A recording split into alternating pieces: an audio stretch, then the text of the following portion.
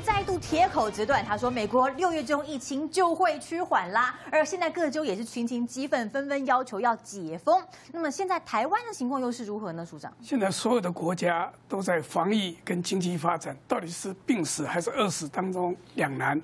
那我现在一定要讲一段话，我们都是总统的头家，所以我们求全责备。但是我们台湾的同胞也要想到说，我们现在台湾是全球最幸福的地区跟国家，没有一个地方可以像我们这样。相对来讲，我们可以日常的生活，除了你是这个被检疫的，你是病患以外，所以我们一定要珍惜。所以这一段时间，我们还是要大家努力，大家在一起。当然，疫情指挥中心政府要努力，但是我们全国的国民要珍惜。